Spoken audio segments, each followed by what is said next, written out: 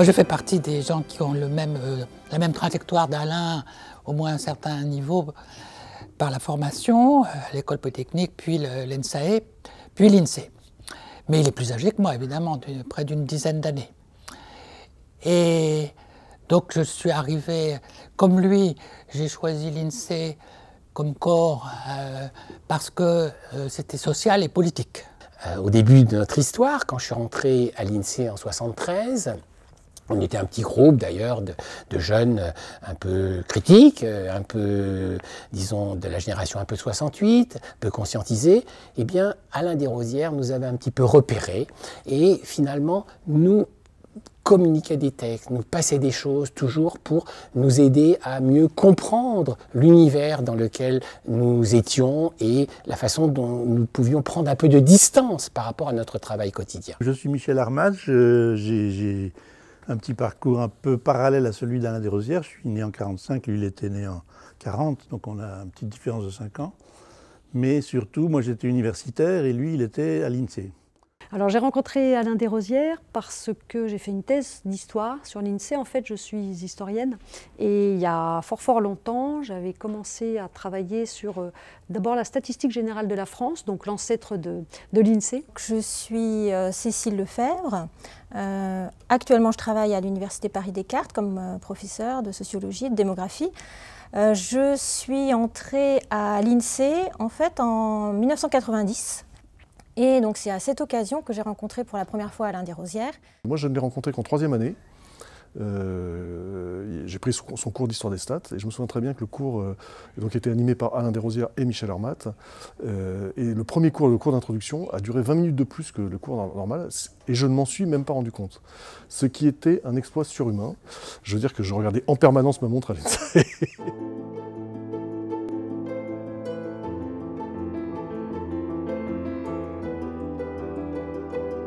il était à la fois, euh, on en parle souvent euh, par exemple avec Laurent Thévenot, euh, il était à la fois vraiment un chercheur et vraiment un administrateur. C'est-à-dire qu'il avait vraiment le sens de, de, la fonction de, faire en sorte que l'INSEE soit un, service public.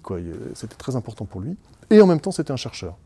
D'ailleurs, une fois, je l'avais rencontré dans le métro, dans le bus, et il me disait ah là là là, je sors d'un séminaire de recherche et je retourne à l'INSEE. Euh, on dit qu'il faut toujours euh, euh, être capable d'être ouvert à tous les mondes. Alors qu'est-ce que c'est fatigant Qu'est-ce que c'est fatigant Je me suis demandé quelle était la place d'Alain Desrosières dans cette famille. Et là, pour moi, il me semblait que c'était pour moi un grand frère. Quelqu'un qui pouvait me piloter, m'aider, m'orienter légèrement, me donner des conseils, etc. Et d'une certaine manière, il a bien fonctionné comme ça. Comme un grand frère, mais attention, un grand frère qui aurait été voir dehors, qui aurait été voir à l'extérieur, qui avait une expérience extérieure et qui ramenait un petit peu ça à l'intérieur de l'INSEE pour nous aider à évoluer, pour nous aider à prendre une plus grande dimension.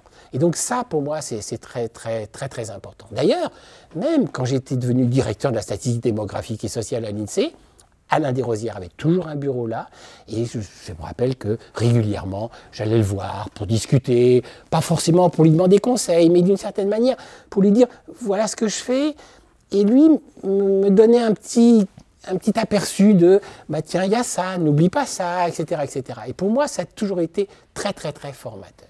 Quand je suis revenue à l'INSEE, euh, donc ça a été en 2009-2010, euh, donc un passage assez rapide, mais où j'ai dirigé le CEP, donc le CEP, le, Centre de formation continue de l'INSEE.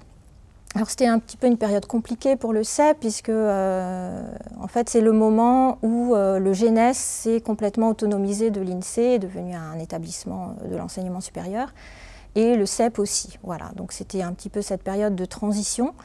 Euh, mais je me souviens très bien, euh, voilà, Alain Desrosières était très content que je revienne à l'INSEE, puisque comme vous le savez sûrement, euh, son, sa grande fierté ou sa grande affirmation, c'était de dire qu'il avait toujours une position très particulière dans l'INSEE, pas toujours comprise, mais que lui avait toujours tenu à y rester, à travailler de l'intérieur.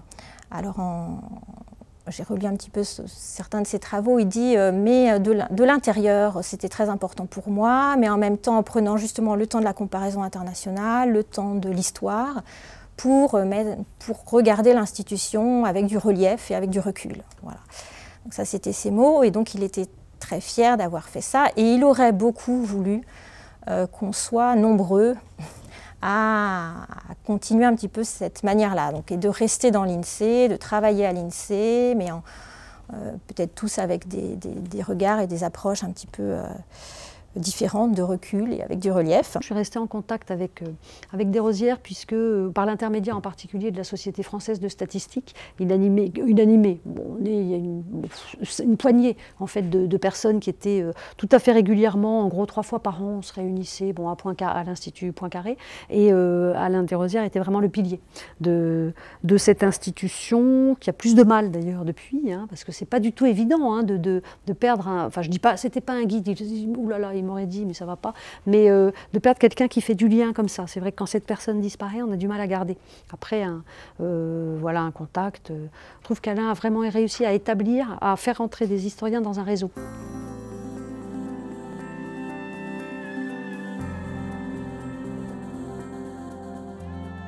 Donc en tant qu'universitaire, moi j'avais commencé à m'intéresser beaucoup à l'histoire de la statistique.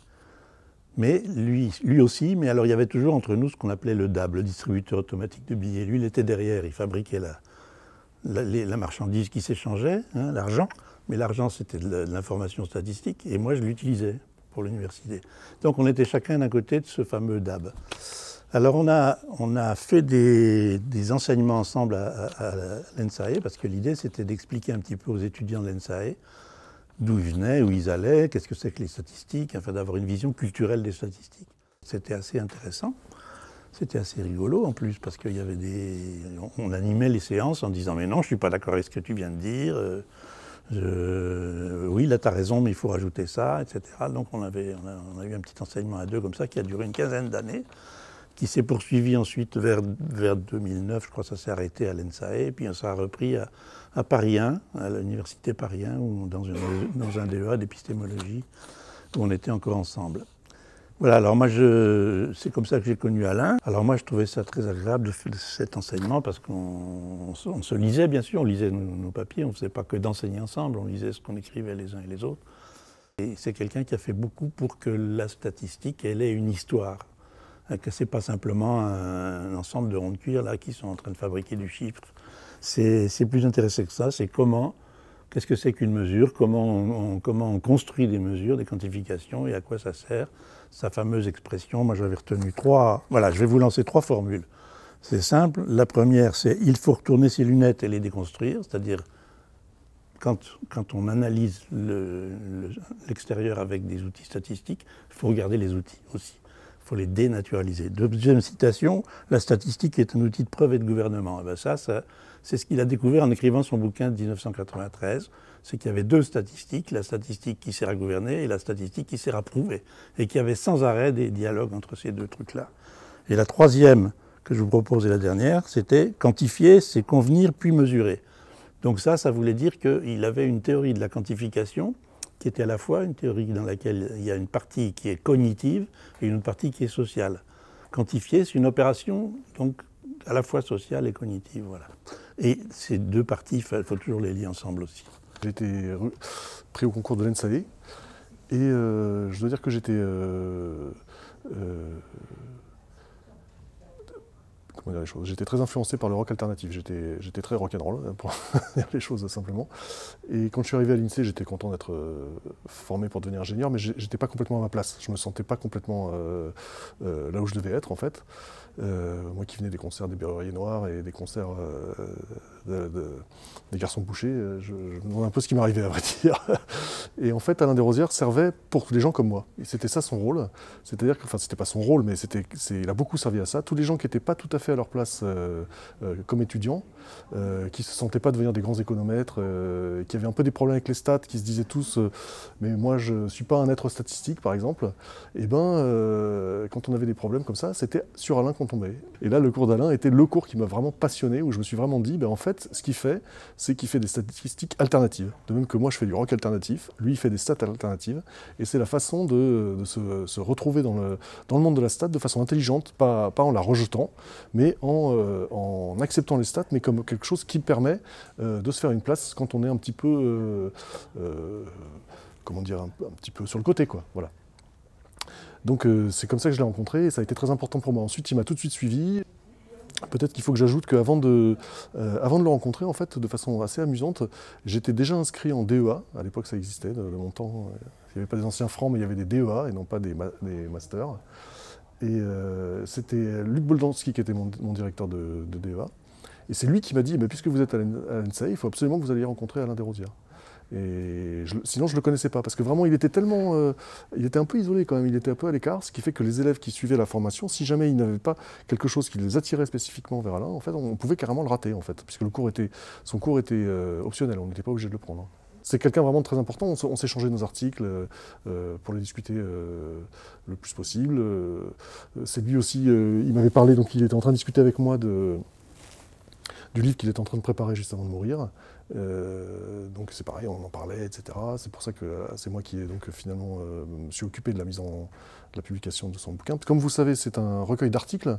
Il avait passé pas mal de temps à sélectionner les articles et il était en train de réfléchir à une, à une introduction, à comment faire cette introduction. Euh, alors il y a plusieurs choses. D'abord, premièrement, Alain était de quelqu'un d'extrêmement humble, ce qui m'énervait moi énormément. Donc il ne voulait pas présenter son livre à une vraie maison d'édition. Donc c'est moi qui lui ai dit arrête, tu m'énerves, tu vas présenter ton livre à la découverte et je suis sûr qu'ils vont le publier. C'est pas possible autrement parce qu'il était prêt à le publier dans des petites maisons d'édition de rien du tout, etc. Et donc euh, voilà. donc c'est moi qui ai appelé Gèse, donc le patron des découvertes, et qui lui ai dit Alain est en train de faire une connerie et de publier son livre n'importe où, appelez-le. Et c'est Gèse qui l'a appelé en lui disant mais je veux votre livre, je veux votre livre. Donc ça c'était c'était vraiment très important.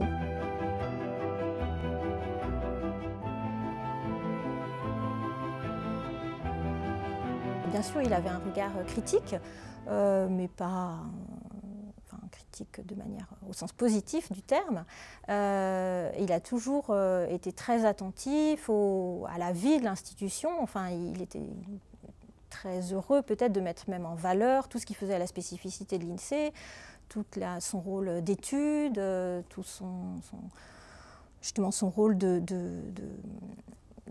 travailler des espaces de dialogue entre euh, la société et puis, euh, et puis les statisticiens au sens mathématique du terme. Voilà, donc ça a vraiment un sens important, puisque c'est quelqu'un qui a compté et qui a tenu à rester à l'intérieur de l'institution, qui a, qui a compté pour, pour que nous, on comprenne mieux aussi hein, toute l'histoire de l'institution. Il avait une haute idée que nous partageons de la fonction publique comme euh, esprit civique, qui est quelque chose de très. qui était, euh, qui se perd un peu, mais encore à l'époque très développée en France, qui était l'idée de vraiment de, hauts fonctionnaires défendant l'intérêt général et, ne pantoufleront pas au bout de trois ans pour la banque. Donc, euh, je pense qu'il a choisi aussi l'INSEE pour ça, et en particulier, il a choisi d'y rester. Alors que toute la bande euh, turbulente et créative de l'époque, on est tous partis presque. Alain, euh, il était donc très soucieux de rester à l'INSEE et donc de continuer à œuvrer pour que dans l'institution INSEE, comme au fond institution de service public du chiffre, il y ait au moins une petite partie, une minorité de gens à différents niveaux, puisqu'il était enseignant, euh, un esprit réflexif, distancié et critique sur la production du chiffre à partir de l'intérieur.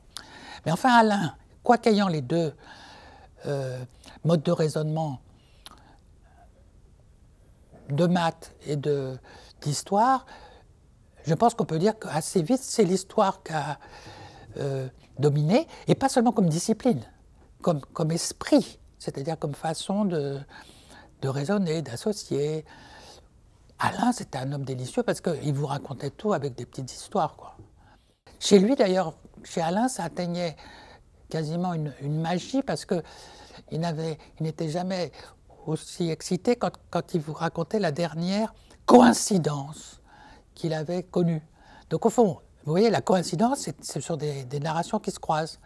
Donc pour lui, c'était une espèce de, signe hein, euh, révélateur. Donc voilà pourquoi c'était important qu'il reste. Et il était très fâché euh, qu'on parte. Et quand il restait, il s'occupait beaucoup de former des nouveaux jeunes. Donc dans la continuation de son œuvre sur l'histoire des stats, euh, cette continuation de, chercheurs,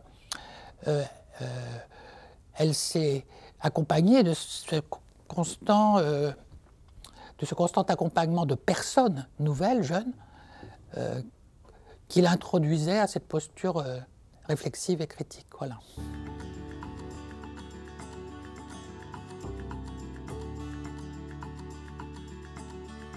Il est d'usage de donner le nom d'un auteur illustre ou d'une référence à une bibliothèque, et je trouve que c'est formidable que ça soit Alain Desrosières, parce que à mon sens, il n'est pas seulement, il n'a pas seulement apporté à l'histoire de la statistique, à la sociologie de la statistique, pour la recherche, pour la meilleure compréhension, mais il a aussi été un témoin important pour les praticiens de la statistique.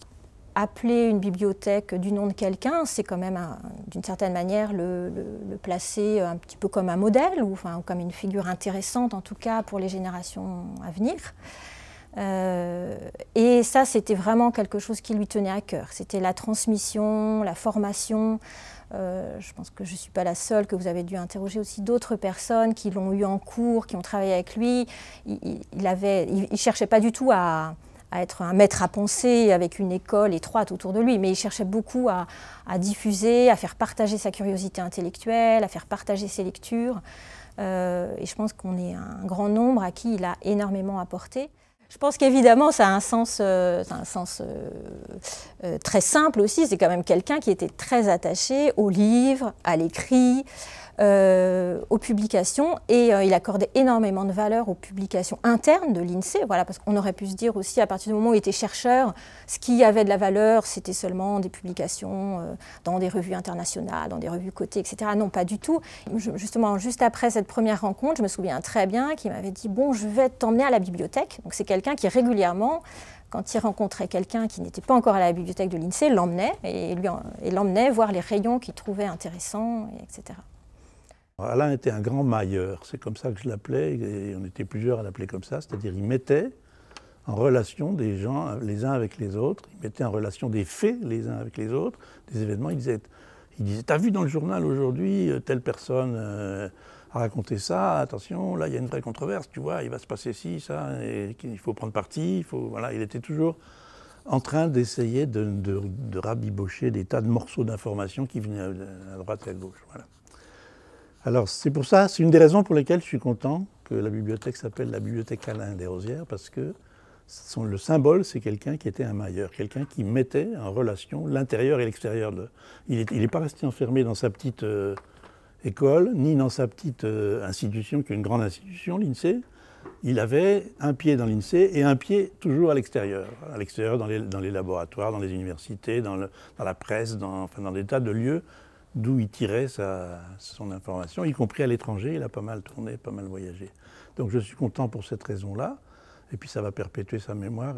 Une chose très importante chez Alain, euh, bien sûr on dira c'est le propre du chercheur ou a fortiori de l'historien, mais c'était la chose écrite. Une des grandes euh, scènes qui me reviennent à chaque fois que je pense à Alain, c'est il déboule dans mon bureau avec un, un papier à la main. C'est pas son papier. Il avait une certaine modestie, si c'était son papier, il l'envoyait. Non, non, c'était un papier qu'il fallait que je lise euh, immédiatement, qu'il avait lu lui-même et qui lui plaisait. Donc au fond, Alain, il est, il est accroché à un papier. Euh, c'est pas général ça chez les chercheurs. Il arrive, il a le papier. Souvent, c'est un truc tapé à l'époque, c'était tapé à la machine, c'était une note euh, et puis un tiré à part. Donc mais le papier, au fond, il allait faire le, lien entre des personnes. Donc du coup, ça faisait le lien avec l'auteur du papier qu'il fallait connaître, enfin s'il était vivant, parce que comme vous l'entendrez ou vous l'avez déjà entendu beaucoup, c'était évidemment une personne qui mettait en relation les gens. Mais je voulais insister sur le fait qu'il les mettait en relation à partir d'un papier, d'un écrit. Donc l'écrit était très important cette salle-là soit inaugurée d'abord, je trouve ça vraiment très bien, bon, évidemment, et puis qu'elle soit appelée, qu'elle s'appelle Alain Desrosières, euh, quelqu'un qui est ouvert à, toutes les, qui était ouvert à toutes les discipline, et puis qui voulait faire du lien, et puis surtout développer la, culture, enfin faire connaître et comprendre. C'était pas que le chiffre, parce que c'était pas un obsédé du chiffre, mais disons tout ce qui peut créer des liens, des liens sociaux, des liens politiques, faire adopter aussi un, essayer de, développer chez tout le monde d'ailleurs un regard critique, un recul critique. Moi, je me souviens, c'est bon, pour ça que c'est super que ce soit euh, la salle Alain Desrosières. Je me souviens qu'une fois, dans les premières années où j'étais à Lille, j'avais demandé à Alain Desrosières, j'étais complètement euh, un peu à côté de mes ponts quand même, parce que je lui avais dit tiens, euh, tout, on se tutoyait pas, hein. tout ce que vous avez fait sur la stat, ce serait bien de venir à un séminaire d'histoire, donc séminaire de master, enfin bon, quatrième année, raconter votre parcours, euh, raconter euh, euh, la façon dont vous envisagez l'histoire de la stat, ce que ça a pu apporter, le rôle du, chiffre en fait. Et il était venu.